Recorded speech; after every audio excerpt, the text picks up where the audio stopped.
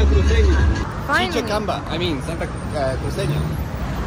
We're, we're not sure if it's like super uh, racist or like unpolitically correct to like use the term Camba. Like, I'm sure it's gonna offend somebody, but that's just kind of the word that they use to identify themselves here, like in Santa Cruz and like the the east, the eastern part of Bolivia.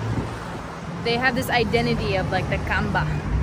So like when they make the chicha, they're like, this is chi- chicha Camba, because they have their own style.